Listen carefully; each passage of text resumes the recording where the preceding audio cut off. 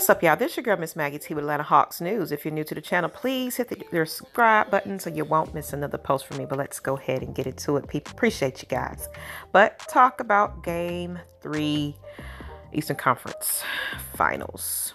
Uh, we lost to the Milwaukee Bucks 113 to 102, and it couldn't have come at a worse time with an injured Trae Young. Um, he left the game early third quarter and had to go in the locker room undergoing an MRI um, with the medical team Monday. And Hawks did announce recently that he is going to be considered questionable for game four with a bone bruise in his right foot.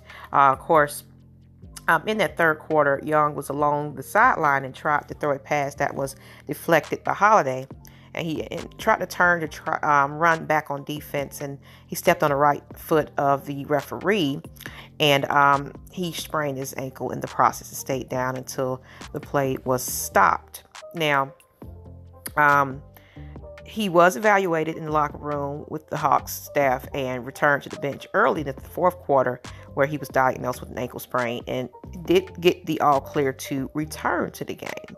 So now, of course, there are rumors that you know some people thinking that it was malicious and done on purpose, but right now, at this point, it's just we can't do anything about it other than just pray and hope that Trae Young is going to be fine because, of course, you know, this is the true, true key maker and the key piece of this game based on uh, what's been happening in this these series. Is, um, of course, um, after um, the game, Trae Young said his ankle was sore and hurting, and he plans to play in Game Four, but will receive as much treatment as he can before t- tonight. So we'll see. We'll see how the injury report is um, later on today, but most likely you'll probably see him um, there, but we'll see how how limited he will be.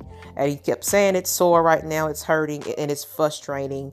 Um, so all he can do right now is just hope hope for treatment and hope to be better. And he said when he did come back, it was sore and it just made him mad because he really couldn't go fast as he wanted to, and when it did hurt um, it, he just want to be able to be better for the next game. So he, he's really kind of beating himself up about it. I know last game he kind of took the blame for that loss as well. But honestly, Trae Young, you're only one player. Nate McMillan is the head coach. And, um, you know, with Trae Young's confidence and quickness, his playmaking and ability to score at all three levels, um, he's really just been the surprise source to our, you know, success there. But that confidence has to travel through the rest of the team. You know, um, obviously the Hawks have to make some adjustments in the event Trae Young is out or limited, and um, obviously so much of the offense runs through him.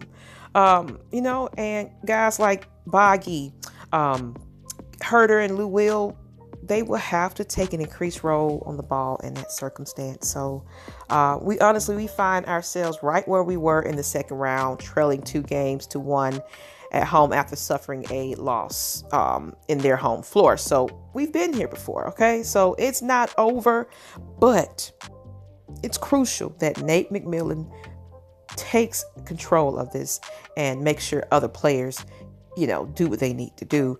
Um, we're you know we're at the risk of being pushed to needing to come up with some answers um, in game four. So without Trae Young, we do hope to extend to the next round, but um, it all comes down to what happens tonight, people. Now. Our problem is, you know, our toughest test is defending the Bucks in the paint. Something we just haven't done with this series that, at, at all well, as well as generating offense with a potential damage engine you know, our shooting um, has kept us competitive in game three, but we'll need a lot more of that in game four, definitely. So, with that being said, along with Trae Young's injury, of course, we have Bogi. He's probable with a right knee soreness. Goodwin, he's out, you know, he'll be um, he listed as a minor respiratory condition. And DeAndre Hunter, right meniscus surgery, he is also remaining out. So, with that being said, that's all I got for you guys. Uh, kind of let me know what you think about this, and let's just pray for Trae Young and um, Nate McMillan. All these players need to kicking in the ass right about now. And we need to get on the ball because right now we are where we need to be. The, this is the prove it game that we still want to be in it, and we're going to do that tonight.